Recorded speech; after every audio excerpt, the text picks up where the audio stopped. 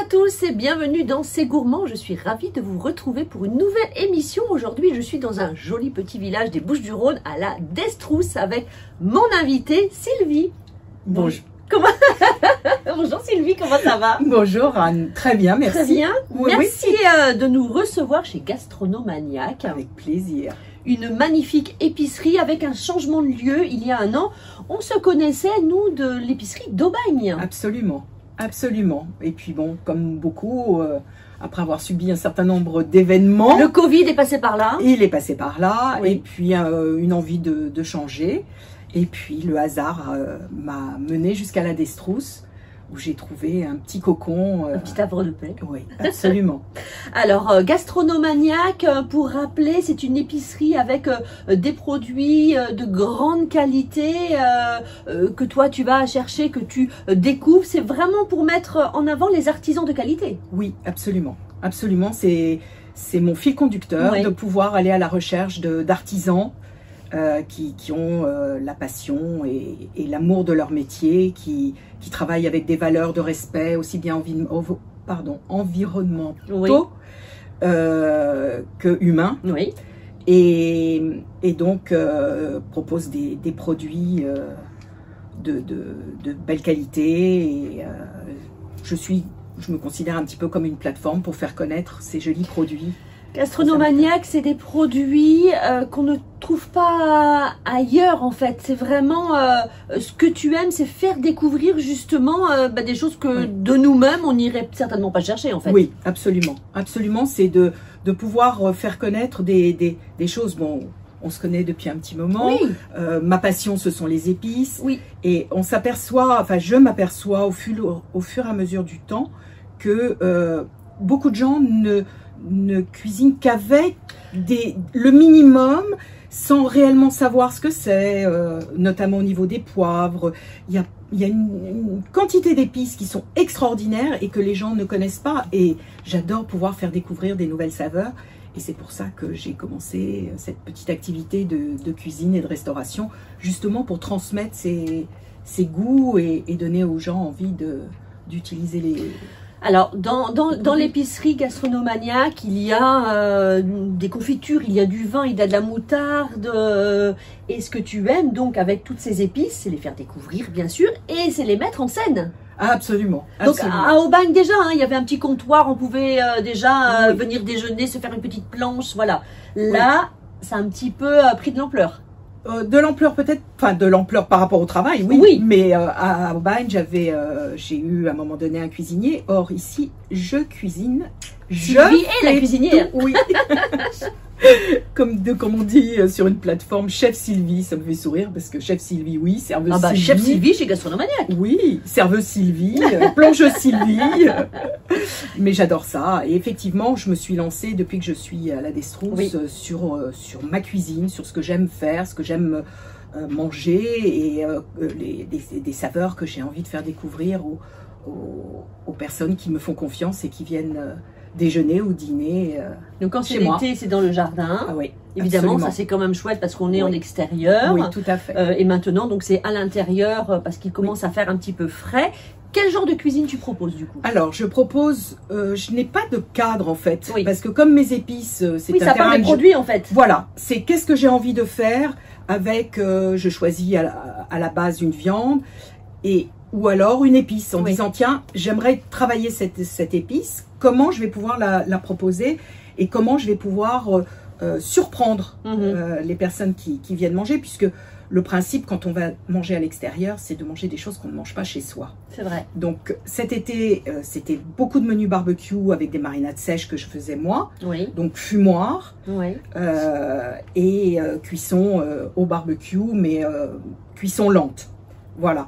Donc, euh, et depuis le, le, le fait que le, temps ne nous permette pas de, de faire des, des barbecues euh, à l'extérieur, je me suis plutôt euh, recentrée sur des plats euh, plus plus cocon, plus un agneau confit, du, Mm. du porc noir de Bigorre, pareil, cuit en cocotte, longtemps. voilà. Ce sont des viandes en, en sauce où on va pouvoir euh, jouer avec les épices, on va pouvoir euh, euh, relever des saveurs ajouter des, des petites choses qu'on peut même avoir dans son placard parce que une moutarde, euh, de l'ail noir, Mhm. ça, ça s'intègre parfaitement dans, dans tous les types de cuisine. Et c'est ce que j'ai envie de- de- d'expliquer.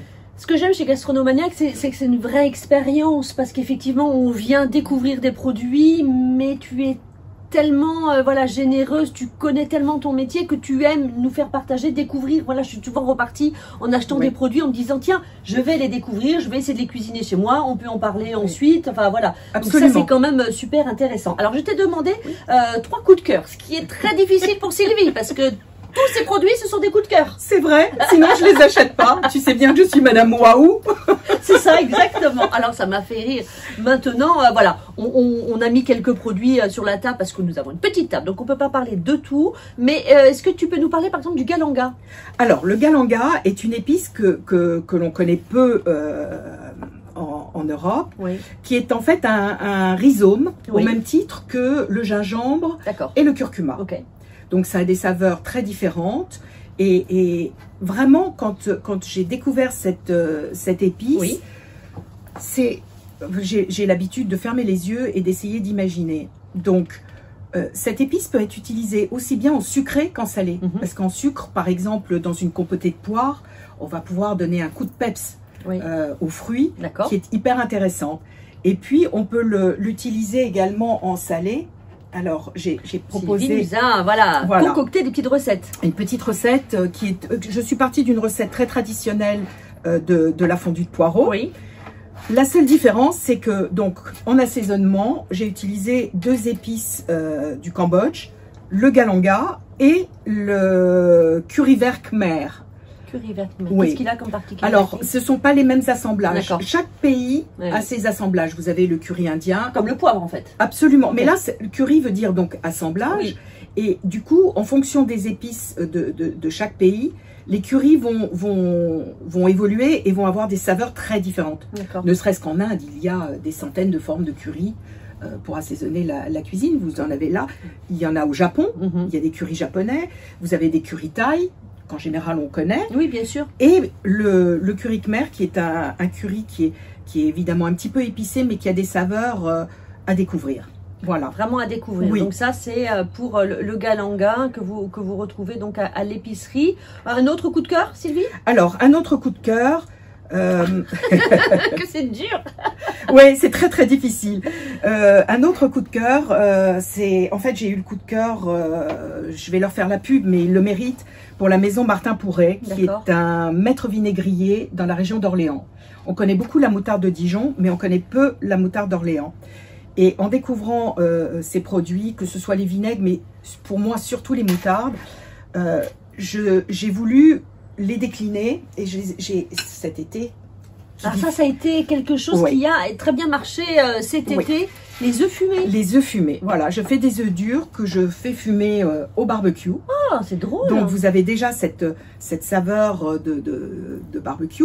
Et quand tu rajoutes la moutarde, en général quand je fais une dégustation, je laisse un, un- l'œuf seul et je mets la mayonnaise à part. À part. Voilà, de façon à découvrir le, le goût du fumé. Et donc cet été, j'ai commencé à faire une mayonnaise à partir d'une moutarde à la tomate. euh, qui donne ben, une, une saveur très particulière. Et euh, j'ai tenté euh, pour, pour aujourd'hui une moutarde qui elle est une moutarde nature, l'onctueuse donc de, de, de chez eux. Et j'ai rajouté simplement de la pâte d'ail noire. Mmh, et avec l'œuf fumé c'est une association qui est top D'accord. voilà Très bien. donc ça c'est un, un petit produit qui dit évidemment mayonnaise dit bonne huile d'olive Bien sûr. euh, voilà, j'ai découvert cette maison et, et c'est un gros coup de cœur. Très bien. Voilà. bonne huile d'olive à avoir toujours dans son placard d'épicerie. Euh, fait. des recettes que, que, le, que tu partages volontiers sur ton blog, ça c'est important? Oui, tout à Il y fait. a le site et puis il y a le blog Oui. évidemment où là on peut Oui. euh, retrouver Oui. des recettes. Et je, comme j'ai, pardon, je, Bien sûr. je t'interromps, j'ai, à la demande de, de certaines personnes qui n'ont pas forcément le temps ensuite d'aller sur le blog, je vais, j'ai commencé, mais je vais périodiquement poster des recettes également sur les réseaux sociaux. Ça c'est très bien. On peut Voilà. suivre évidemment Gastronomaniac sur Facebook, sur Instagram. Euh, juste avant de terminer, est-ce qu'on va retrouver des box de Noël euh, Oui, tout à fait. Voilà, ça c'est vraiment Oui, aussi la fait. bonne idée. Oui, tout à fait. Euh, pour euh, faire des petits coffrets, alors qui Trop peuvent bien. être euh, euh, autour des épices, qui peuvent être euh, euh, des condiments, qui peuvent être des accessoires, euh, un couteau avec une, une très bonne terrine. Euh, J'aime ce genre de, de coffret Un cadeau. magnifique couteau également hein, qu'on Oui. peut retrouver. Oui, ça euh, c'est ça devenu ma signature et ça je ne pourrais plus m'en passer, c'est vrai. Autre petite question, est-ce que à Aubagne c'était possible Est-ce qu'on va retrouver des produits comme des bûches de certains pâtissiers euh, On aimerait bien peut-être? J'aimerais bien. Euh, c'est un petit peu compliqué parce que comme je suis un peu loin de tout, la livraison me pose des petits problèmes. Mais je vais essayer, je vais Oui, parce qu'en même temps, ouais. euh, les habitants sont peut-être aussi pour certains Oui. un peu loin de tout et seraient Oui. contents de retrouver Oui, absolument. euh, des Absolument. de Noël de d'Aix ou de, de Marseille à la Destrousse. Oui, absolument. On réfléchit On réfléchit. Exactement. exactement. Alors, vous l'avez compris, c'était le coup de cœur de ces gourmands. Évidemment, venez découvrir l'épicerie, mais venez rencontrer, voilà Sylvie, parce que c'est c'est un tout. C'est tu es un livre ouvert, tu es passionnée, épicurienne. Oui, Donc, c'est euh, vrai.